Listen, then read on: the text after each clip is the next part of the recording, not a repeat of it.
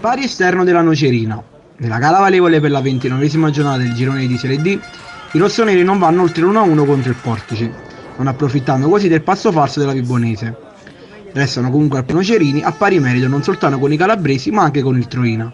Il tecnico Morgia conferma il colladato 4-3-3 con il solito tridente composto da Cavallaro, Russo e Dieme. L'ex Maiuri opta per un 4-4-2 con i due ex di turno albanese e Di Pietro. Nel primo tempo parte meglio il Portici che colleziona la sua prima chance al quinto, con un tiro di Pandolfi parato da Gomis.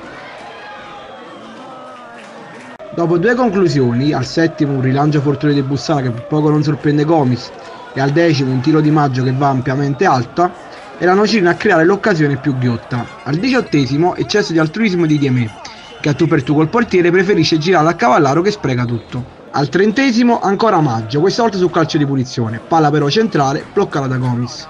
Al 32esimo Diemé calcia in porta, la palla viene deviata e va di poco fuori col portiere spiazzato. Al 38esimo il Portici passa in vantaggio, Diemé va a terra per un infortunio, Cavallaro si disinteressa della palla per fermare il gioco. Il difensore del Portici Nocerino però fa solo la sfera, mette al centro per la corrente Pandolfi che tutto solo non sbaglia.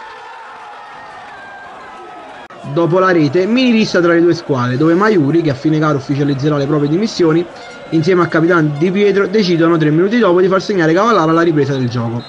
Veramente un grande gesto di sportività.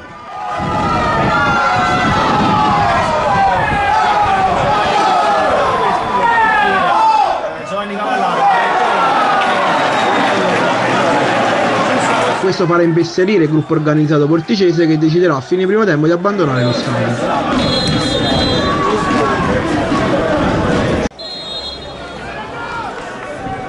Al 51esimo su calcio di punizione Cavallaro colpisce il clamoroso palo. L'azione prosegue con Giacini che calcia alla distanza ma è bravissimo Montella a deviare in angolo. Dal seguente corner l'estremo difensore ancora una volta fenomenale, questa volta sul colpo di testa di Manzo. Tra il 79 e l'82 i due portieri si rendono protagonisti di due bruttissimi errori. Il primo è Montella che manca l'aggancio della sfera rischiando un clamoroso autogol. Poi tocca a Gomis che commette lo stesso errore riuscendo poi però a rifugiarsi in calcio d'angolo. È l'ultima emozione del match e dopo 4 minuti di recupero la gara finisce in parità. La Nocerina tra due domeniche affronterà in casa la Cireale.